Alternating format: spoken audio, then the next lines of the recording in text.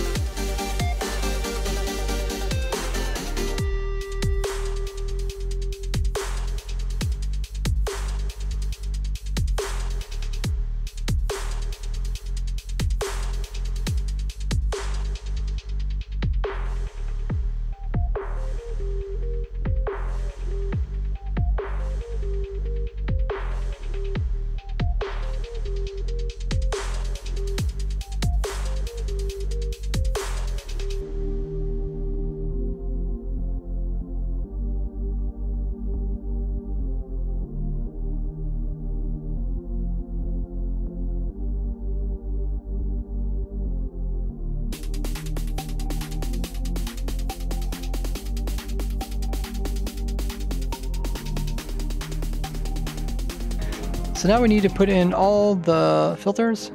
So the last one here will collect everything. And everything before it will collect uh, stackables. So let me go ahead and put in those slots and then the other one will be for the item that we put in. Okay, so all the item filters in. This one here will pick up whatever doesn't get picked up by the rest of them. So we got all the shulkers in there. It's picking them all up, filling in these slots all up. Uh, Shadow's putting in the rest of the shulkers inside of there. We got all the redstone around here. We got all the filters in place. Now we just need to get the individual items into the filters and then it'd be ready. He hooked up the water stream so it goes this way. All the items are dropped downwards and then we can put in some water down here and then this will push all items over here and then we can extend the water.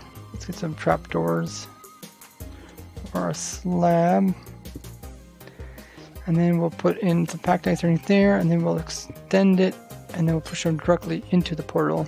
If item come into the portal too fast, it might end up kind of getting pushed when it comes out the other side. So we can put in some slime blocks to slow it down if we need to.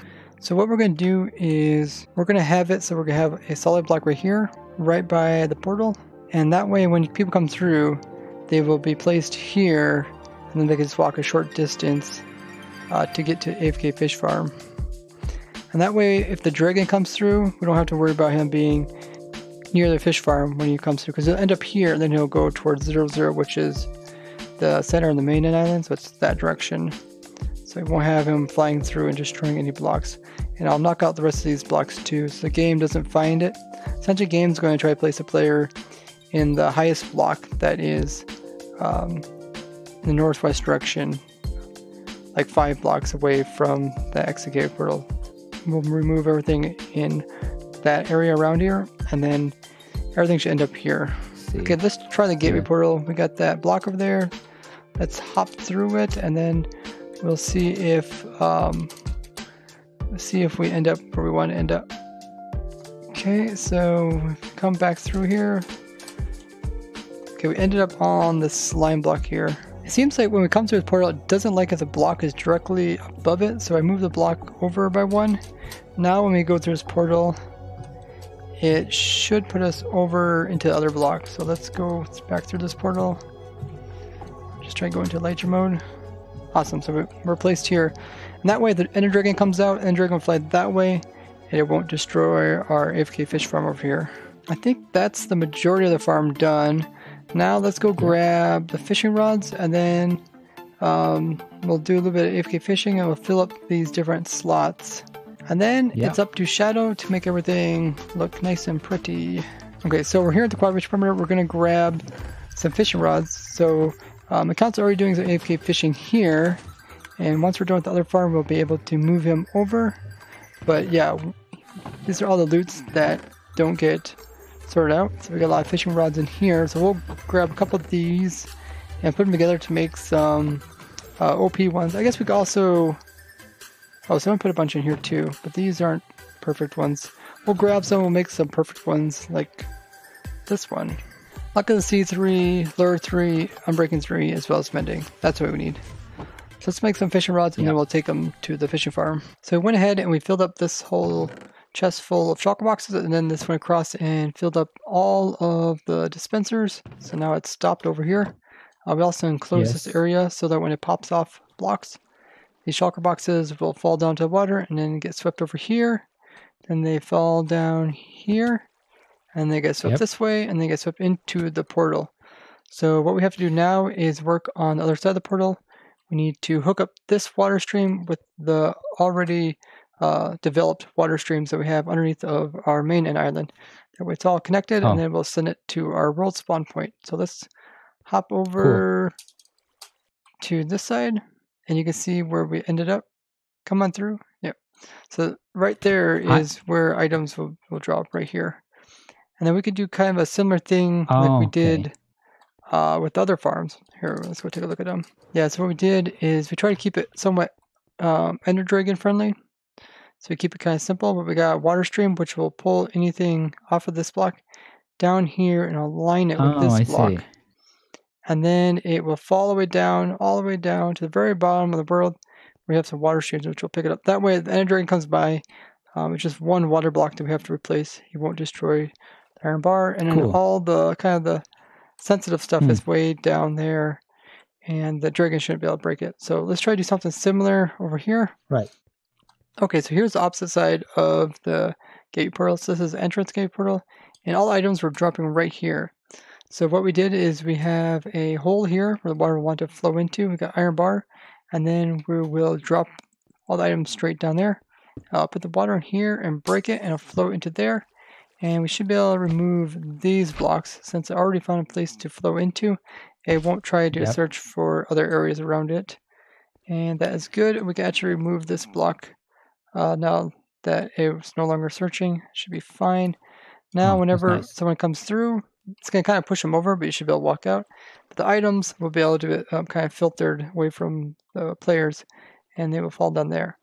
So now what we have to do is hop down here and continue this hole all the way down to uh, we hit uh, the void. So I'm just going to break two blocks that way I don't fall into the void. And then we have to connect this up with our water system that we have down here. So we have like a kind of a crisscross of Hmm. waterways, which goes around to each of the gateway portals, and we'll pick up items, and then kind of take them to a central location where we will put them through the exit gateway portal or the exit end portal, and then that will take us to the world spawn point where we have our storage. Okay, so here's the bottom right here, Yeah. and don't jump down here, but yeah, that's where the items will fall down. I'll go ahead Hi. I'll fill in this side. Now that we have a hole, we, we can go underneath and um, see where we need to make the ice Right. streams. So items will use this water stream right here. And we just need to extend it. You can see it kind of goes around here. It goes to each of these. All right. Oh, I see. So this is a massive item transportation system. I Yeah. Kind of made no sense of it like the first time I saw it because you know I didn't exactly know that you were doing this. So oh, the farthest one we have so far is going over to this one here. But we need to go Yeah. way over there somewhere. Hmm. So what we could do is we can we could probably go over there find that one, then work backwards because I'm not sure how it's going to line up. So we went underneath of where the hole was, and then we put in an ice path. The ice path we're using uh, is packed ice on bottom, so items move very swiftly because we actually have to make sure we get the items uh, to their destination before the despawn. So that's kind of important. So speed is important, so that's why we're using ice here. And then we're using black glass because that's what's kind of being used around the area. Everything else is black glass. And it goes very nicely with the void. And then we're just putting in some trapdoors to hold back the different parts of water. And uh, shadows breaking the ice. And then we're going to continue this pattern all the way until we hook up with uh, one of the old lines. And then from there, it should be able to make the rest of its uh, journey to spawn, which we'll show you guys there. So this new path we just made will hook up to our old one. I think this one goes to like the rabbit farm, cactus farm, uh, chorus fruit farm, and snow farm. They're all in that one there, and then they go down that way. And our new one will just get slipped underneath here and then go with the rest of them. And then they go this way. Yep.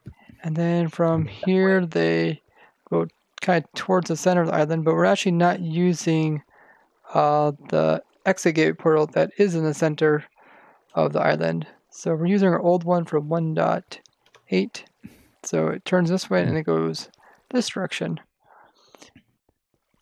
And then it goes past uh, a bunch of other ones. We got some other ones coming from other directions. And we also pick up all the items from the Obsidian platform.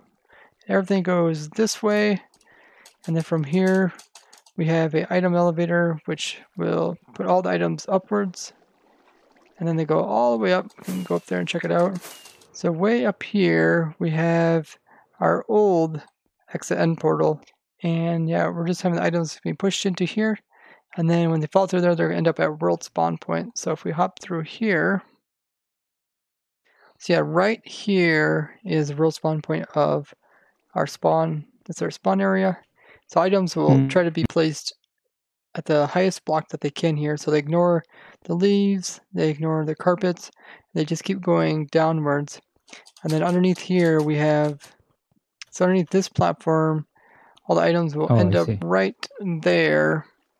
Hmm. They end up on top of the packed ice over there. We have a switch, so we can switch it. If we remove that, then the items will go through the leads and then they'll find a block which is down there. That's what we use uh, for the shulker shell shucker. So with that switch flicked, we should have all the items go across this ice path and then go through the sorter. The sorter's uh, actually not being used, but yeah, all the items will end up over here. And you can see the shulker box is full of ender pearls that we're getting from the ender pearl farm, as well as got a bunch of snow in here too, and a bunch of concrete from the other uh, farms. Oh. Want to check that out, Shadow?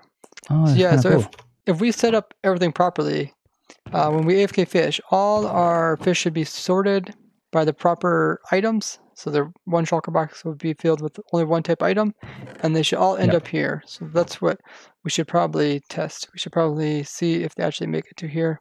Okay, cool. So we're going to test it out. We're going to drop a Yeah. shulker box full of some glass through here and um, just observe if it makes it through the portal, but don't uh, pick it up. And then right. we'll Don't interact with it. yeah, we'll head back to spawn and we'll see if it actually makes it there. So let's go ahead. I'll throw it in there. And I'm ready. It is going. Let's down there. Yep. There it is right there. Okay, it's going to come through pretty soon. Okay, yeah, it went through. Okay, we'll head to spawn and see if we find it. One thing we had to do is also set up chunk loaders, but we, I mean, technically we don't actually have to set up chunk loaders. So the chunk loaders, what they would do is uh, they would kind of load the chunks while no players are here. Yeah. But in theory, um, when the players do come through the portal, they'll load it.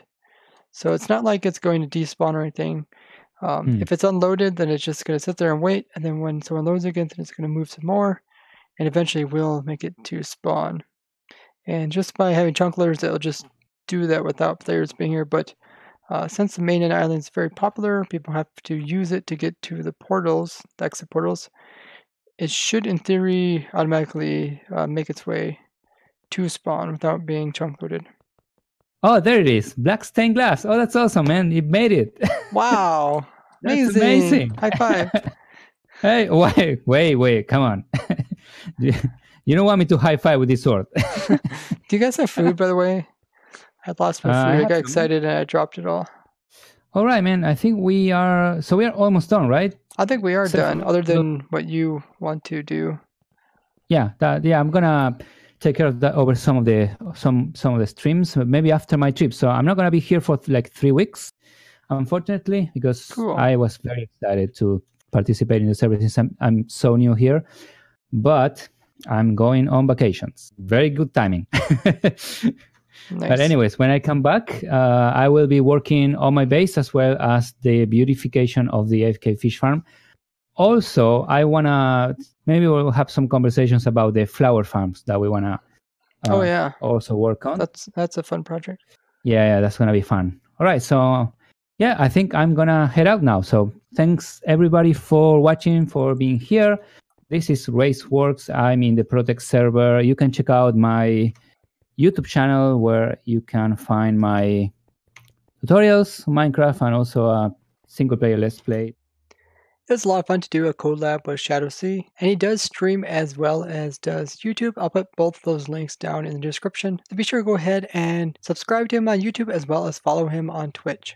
Maybe in the future we'll be doing some more collabs with him. It's really cool to go ahead and finish the mass AFK fishery so people can start AFKing in the end dimension instead of in the overworld. It will be exciting to see what Shadow C does to make it a little bit more beautiful. Now, one of the few downsides to having the AFK fish set up over in the end dimension is that it doesn't rain there, so therefore you won't get that extra boost which you normally get during the overworld when AFK fishing during a rainstorm. But we gain so much more by having the farm in the end dimension so we don't have to worry about it affecting RNG farms as well as other things going on in the overworld. But that's going to do it for today. Thank you guys so much for joining me as I have fun and survival. Bye bye!